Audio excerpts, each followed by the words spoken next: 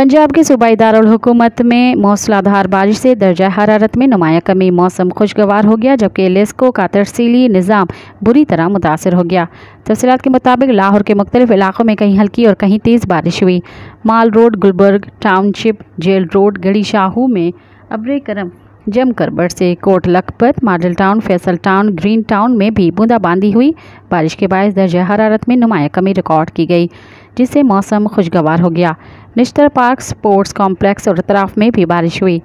बारिश के बायस न्यूजीलैंड क्रिकेट टीम का ऑप्शनल ट्रेनिंग सेशन मनसूख हो गया। दूसरी जानब शहर में मौसलाधार बारिश से लेस्को का तरसीली निज़ाम बुरी तरह मुतासर हो गया। लेस्को के 220 से जायद फीडर ट्रप कर गए।